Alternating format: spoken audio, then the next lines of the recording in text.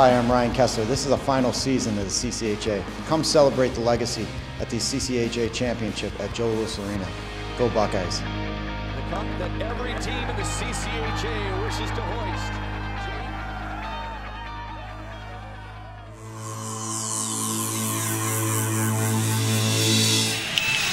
The other goaltender is Collin Olson, a 6'3 freshman. He's 18.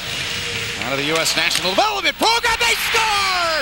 The Spartans get one through him, and Forfar gets it! 1 nothing as MSU is drawn. First blood. Thanks for uh, joining us. Tell us about the goal, first partner. Uh, well, I got a nice pass from uh, John Drager. Uh, picked my head up for once in my lifetime and made, made a made a move or two. Uh, got lucky, put the puck on net, and it, and it went in for me. So it was a it was a nice play from Drager, and I ended up putting it in. So.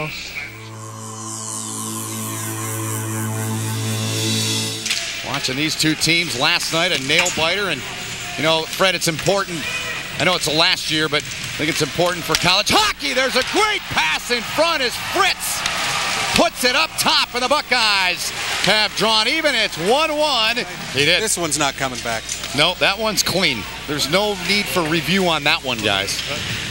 Ryan takes a look, patient, dumps it down into the corner to Szczechura. Szczechura in front, great play, they score! Great play by that line. All three of them touched it, and the Buckeyes lead it 2-1. But he dishes it down, and good patience there, and Lundy had a lot of net. You'll see the pass come across. Here's a real good look of it. It's amazing how quickly Jake Hildebrand did get across. He almost made the save on that, but a huge. Half a minute remaining in the game now. Chelios, and it's taken away! Taken away by Fritz. Gives it up. There's Lundy, empty netter, ball game. 3-1 Buckeyes.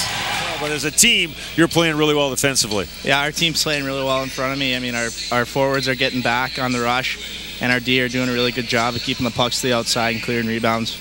I love reading the questionnaires you guys do. Yeah.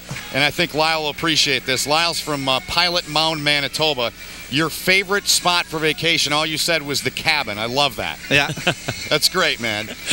Thanks for that. Brady, enjoy the ride back to Columbus. It'll be a lot shorter than it really is. Thanks for your time and congrats to you and your teammates. Yeah, thanks for having me. You're welcome. There's Brady Hjelle.